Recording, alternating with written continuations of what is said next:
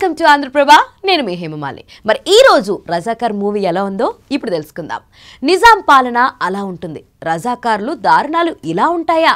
కొన్ని చదివాను కొన్ని విన్నాను. కానీ అవి ఎంత భయంకరంగా ఉంటాయో రజాకార్ సినిమాలో చూశాను. ఇది చూశాక మనం అప్పుడు పుట్టినందుకు హమ్మయ్య అనిపించింది. ఆ దారుణాలు తలుచుకుంటే వెన్నులో వణుకొస్తుంది. అప్పటి దారుణాల్లో సినిమాలో చూపించింది ఇరవై ఐదు శాతమే అంటే ఇంకా భయమేస్తుంది.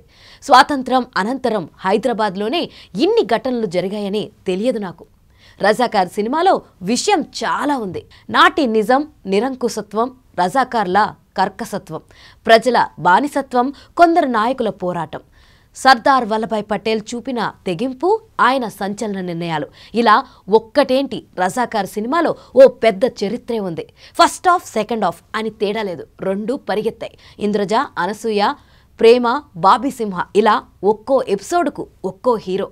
ముఖ్యంగా క్లైమాక్స్ అయితే చాలా బాగుంది. సర్దార్ వల్లభాయ్ పటేల్ పాత్ర సినిమాకు ఆయు పట్టు. నాకు సినిమాలో పెద్ద సర్ప్రైజ్ మేకింగ్ గ్రాండియర్.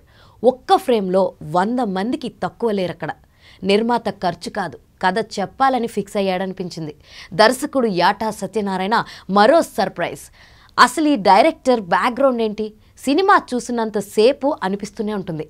ఆయన వర్క్ సూపర్. రజ్వీ పాత్ర చేసిన నటుడు కూడా అద్భుతం.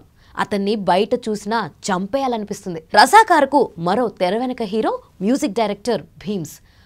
ఓవరాల్గా రజాకర్ నిజం నిరంకుశ పాలన వెనుక దాగున్న నిప్పు లాంటి నిజం.